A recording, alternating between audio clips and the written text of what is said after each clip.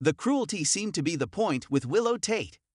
Just when we think the fall of formerly sweet schoolteacher Willow Tait on General Hospital is complete, she shocks and infuriates us once again with how hypocritical, judgmental, delusional, and bitter she can be.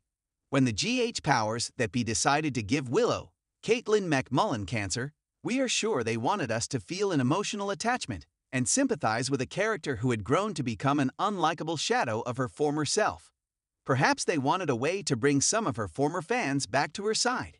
After all, a young mother learning she was pregnant and then learning she has cancer is the stuff sentimental and gut wrenching soap stories are made of.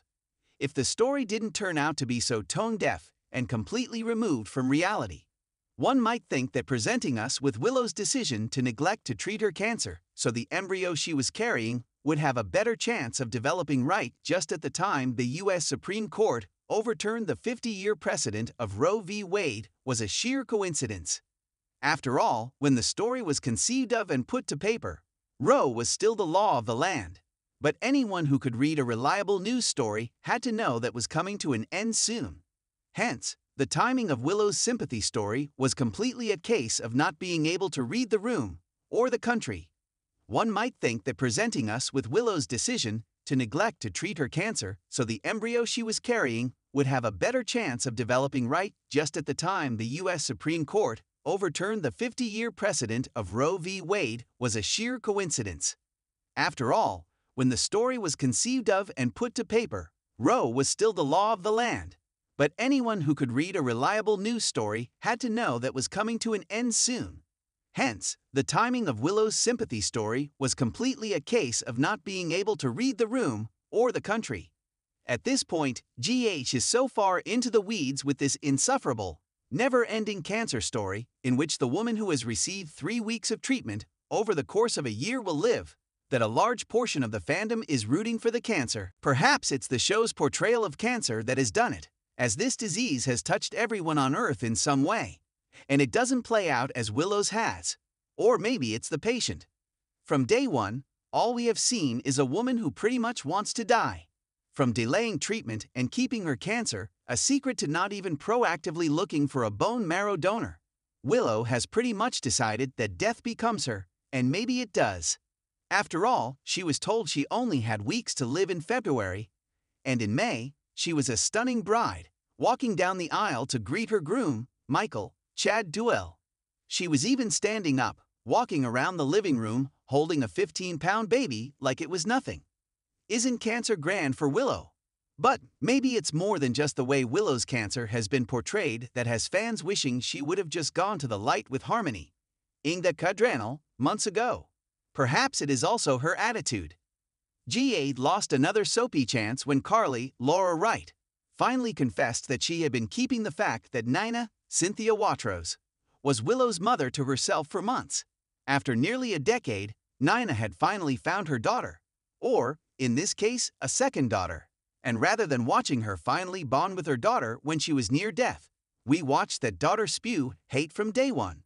It's a soap trope for long lost mothers and daughters to hate each other before the truth comes out. It's even more of a trope to have the shocked parties bond while one is on her deathbed. That did not happen with Willow. Instead, we watched Willow praise the woman who lied to her and shun the one she was stolen from. Nina didn't even put Willow up for adoption as Bobby, Jacqueline Zeman, did with Carly, and Alexis, Nancy Lee Grahn, did with Sam, Kelly Monaco. Both of her children were stolen from her by her mother while she lingered in a 20 year coma.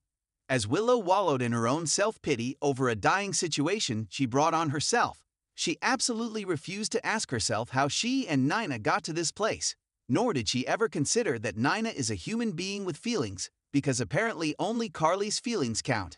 Despite facing her own mortality in General Hospital and knowing that she was stolen from her mother at birth, Willow Tait is unable to show any grace to this woman. Yes, Willow and Nana got off on the wrong foot several years ago and could have even been considered enemies at one time, but they had made peace with one another. When Willow was still capable of thinking for herself, and not only spewing out Michael and Carly's thoughts, she would have been able to see the bigger picture and realize that when you don't have much time left, you be kind to the people who love you and not intentionally cruel. People do the wrong thing sometimes. Nina did that when she kept Sonny's, Maurice Benard. Alive status a secret in Nixon Falls.